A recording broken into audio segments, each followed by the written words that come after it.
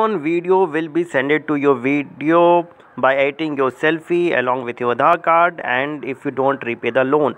These type of messages are being sent by the loan app where they threaten you in various various way that they are going to send you edited nude video.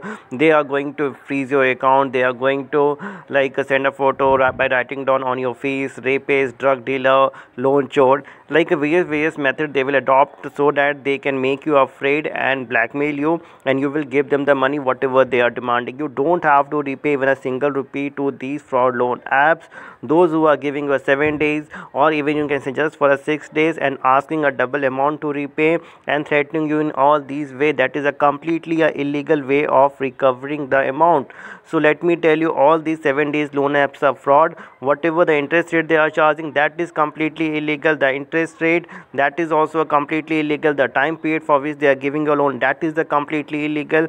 And their recovery process you can see yourself that is also a completely illegal. They are not working in any legal way and that's why they can never approach to the court and the police. So in this situation what you are supposed to do not to do each and everything we are going to tell you so that will give you a complete solution of this problem and you can easily come out from this situation and save your time and money. You don't have to worry about their repayment. You don't have to worry about their blackmailing harassment calls. You don't have to worry about any legal action where you can make a complaint against them what to complain not to complain. Each and everything we are going to advise you. Just contact us on our given helpline number and get the help. Save your time and money. You don't have to worry about this fraud loan app.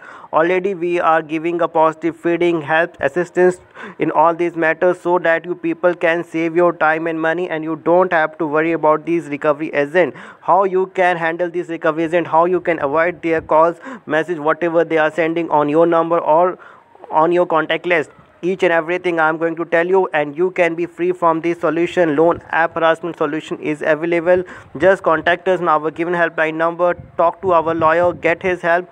Save your time and money from anywhere at any time. Lot of people because of lack of awareness they get into this trap and they don't know how to come out and they keep on paying on whatever name like a penalty rollover or they keep on charging you the money and that is going to be a big trouble. So no need to repay even a single rupee to any loan app.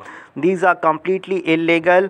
You have to become aware. There are a lot of things which our lawyer will tell you once you came to know all these things. You yourself become aware person and you don't have to worry about this fraud loan app. Like the video share it subscribe our channel be with us